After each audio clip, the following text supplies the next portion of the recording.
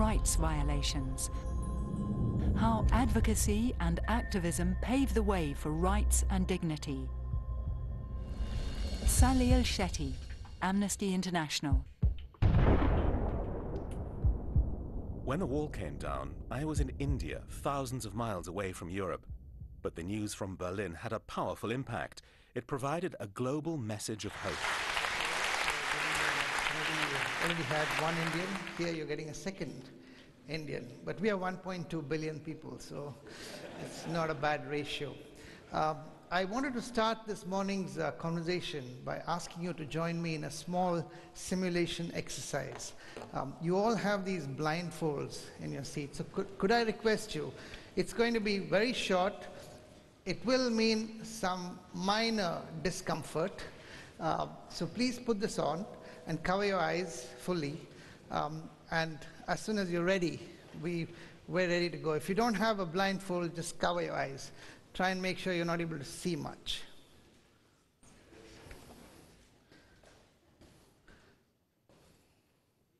Let's get the sound, please.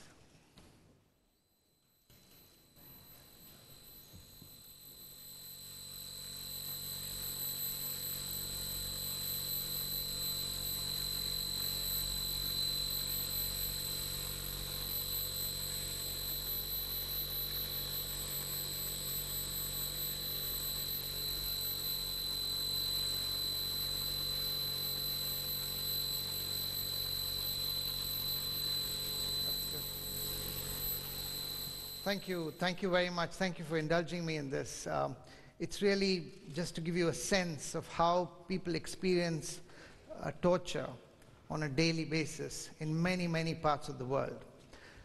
Essentially, a combination of darkness and uh, intolerable noise is a very old uh, practice of torture, one of many which governments use. What I wanted to let you know is that this is not a relic from medieval times. Unfortunately, in our last annual report, we identified that there are 112 countries which still practice torture as we speak. And thousands and thousands of people experience this on a daily basis. Somebody was telling me that it's like one of the nightclubs in Berlin. Uh, but much worse. Think of this sound, and it's hundreds of times multiplied. That's the experience that people go through on a daily basis. If you look at uh, the statistics around the world, we have 57 countries today who continue to lock up people who don't agree with the governments, people who have a different identity, a different belief system. 80 countries conducted unfair trials. 101 countries repressed people's freedom of expression. And 31 countries forcibly disappeared people. Uh, the number of refugees, the number of stateless people is just mind blowing. So, somebody asked me recently, um, so don't you get depressed? How do you do this job if so many bad things are happening on a daily basis? Uh, and I say to them that actually uh, my job is fascinating because, on the one hand, yes, you, you see depressing things all the time. On the other hand, you meet people who are, despite all odds, standing up against injustice, fighting for their rights. And that's the incredible story that I see every day. And there are so many people like you who support those who are suffering from abuses. You may not be suffering it yourself, but you stand with them. You take injustice personally. Uh, of course, there are many people who say that you know nothing can happen, and to them, playwright Bernard Shaw said, uh, "People who say it cannot be done should not interrupt those who are doing it. And that is essentially the story also of Amnesty International. And I, am coming to Margaret Mead in a minute, who said that never doubt that a small group of thoughtful, committed citizens can change the world. Indeed, it's the only thing that ever has. Now, the Amnesty International story, which you may have uh, heard of, is the story of the candle. And Peter Benenson, who created Amnesty International, uh, he said there are two choices. Either you can curse the darkness or you light a candle. And, and the story of Amnesty International is of uh, small groups of people coming together.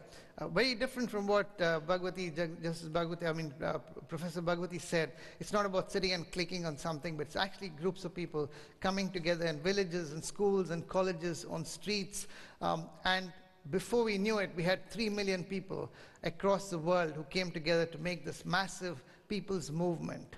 Uh, that allows us the freedom of not accepting money from governments and corporations and remaining completely independent and impartial. Somebody asked me, what are you doing in a science and research conference?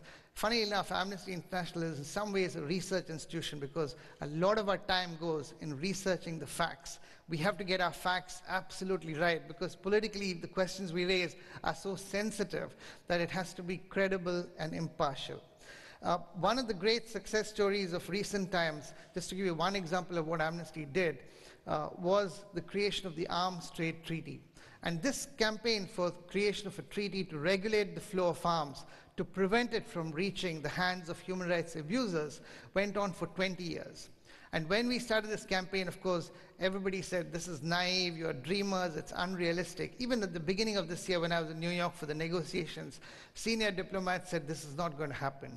But it did happen, and the story is essentially that ordinary people coming together can create extraordinary change. Uh, one of the things which Ai Weiwei said just a few years ago, and I thought since we just heard him, and we obviously work closely with Ai Weiwei, Liu Xiaobo, and many of the Chinese uh, freedom fighters, he said, imagine the hateful world around you collapses, and your attitude, words, and actions, your attitudes, words, and actions have brought it to an end. Would you be excited? The answer is obvious. But this is the story that we see all around us, and this is what keeps us going. Like the women in Saudi Arabia who are challenging the ban on driving. The people of Myanmar, uh, you know, I, any of you know Burma or Myanmar, even three years ago, if you told us that the country would see the freedoms it's seeing today, uh, you'd have thought it's impossible. Some of the long-standing dictators, Gaddafi and many others in the Middle East, have toppled. Uh, of course, it doesn't mean that all these countries are now suddenly seeing a land of milk and honey. There are many, many challenges. But what we are seeing in the world today is a time of unprecedented change which has to inspire all of us into positive action. Now, the question that we've been asked today is which are the next walls to fall? And my answer to that is very simple. I think the way in which all the human rights violations walls are going to fall is by connecting the dots of inspiring action and courage and the resistance to injustice that we are seeing across the world, by creating a truly global people's movement for human rights. One of the things that we always hear is that human rights is a Western construct. And the only way we're going to challenge this is by saying, no, this is not true. But there are many steps needed in order for us to get to this point. First and foremost, the West itself needs to stop uh, saying one thing and practicing another thing. The United States has to close Guantanamo Bay. They have to stop invading the privacy. They have to stop invading the privacy of people. And Europe, uh, and we'll come to Lampedusa and what we're, what we're seeing in Europe now, but Europeans are now very upset that, you know, their leaders' phone calls are being intercepted. They didn't really mind when other people's calls were being intercepted. Um, and Europe really has to uh, also start practicing what it preaches. The fact of the matter is that more and more of this is coming to light that so many countries in Europe have been complicit with the disappearing of people through the extraordinary rendition program of the CIA. So uh, we, we have uh, serious violations of European law and international law when it comes to asylum seekers and refugees coming into this country. Uh, the most egregious one is of Syria. As you know, Europe pushed hard for the Assad regime to stop violating human rights, rightly so, but the consequence of that is that millions of people have been pushed out of their homes in Syria. And when they come towards uh, Europe, they're pushed out again, pushed back into the land which is persecuting them. I know that Sweden and Germany have, been, Uh, have agreed to take some refugees, but overall, it's really peanuts that we are talking about. So what is the, what is the way forward? This is a, our favorite institution, the Security Council, which is charged with securing world peace. The fact of the matter is, as we speak, there is a complete leadership vacuum at the global level and a complete deadlock in terms of global decision making. If you think about it, if you leave the Arms Trade Treaty aside, the climate talks, the trade talks, the nuclear talks, Palestine, everything is stuck at the global level. And why is this? If you take Syria again, it's a classic divide. The West and the United States against the Assad regime, Russia backing the Assad regime because they are one of their biggest uh, buyers of arms, and it's a big strategic important location for them. And China always backs Russia, by and large. Now, this is not an unfamiliar story. But think about all these new emerging countries Brazil, India, South Africa, Nigeria, Indonesia. What are they doing? Are they showing the leadership that they should? Because they claim to be demo uh, democracies and champions of human rights, but all they do, by and large, is hide behind the big boys. Either they hide behind the United States and the West or China and Russia, depending on their convenience. And why is it that they get away with this? In my view, the, way they, the reason they get away with this is because they don't have a constituency in their countries holding them to account. I can assure you that in South Africa, if most South Africans knew how the South African government uh, votes in the UN, they would be appalled. It's equally true for my country. So what we are doing in Amnesty is to change this to build this movement in emerging economies. We've launched Amnesty in India and Brazil. In the last one year, we launched one campaign in India to raise the whole issue about the number of Tamils, the thousands of Tamils who've been killed by the Sri Lankan government and LTTE.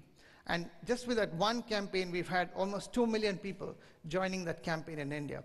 We've also launched, uh, and this is the kind of movements which need to be created in Africa, India, etc. Uh, this is the visit recently I made to uh, Brazil Again, Amnesty Brazil is really beginning to get a lot of traction. Uh, this is with communities and the indigenous uh, people. Uh, and you can see that uh, the, these communities are making a big difference at that level and so where, can Amnesty do all of this on its own? Of course not. We're totally dependent on people like you, which is why I'm here today to talk to you. The science community can play a very crucial role. Uh, we're already working with them on satellite imagery, mobile phones, internet. It can be a real force for good. So you could become members, you could become supporters, you could sign up to our campaigns. This is our German website. We're doing a big campaign in the run-up to Sochi um, to really push hard on Russia to start respecting human rights. So uh, there's not going to be enough time to make it interactive now, but um, here's a, a, bespoke, specialized email address. If you guys want to talk, if you want to understand more, please write to us. I want to end by showing you a video, partly because I don't need to be here, then I can run away and he can't stop me. Um, but we, I want to end on a lighter note to show how Amnesty is so deeply embedded into popular culture as well, and that's Hollywood for you. Thank you.